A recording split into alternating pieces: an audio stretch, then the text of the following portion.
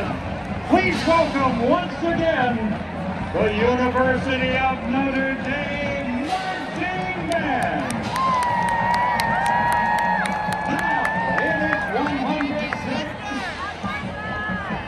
134th football season, America's first university band.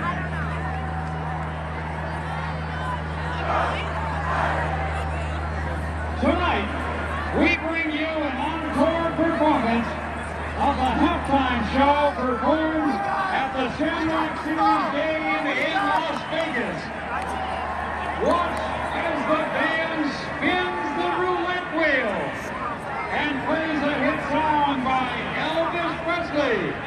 This is Viva Las Vegas!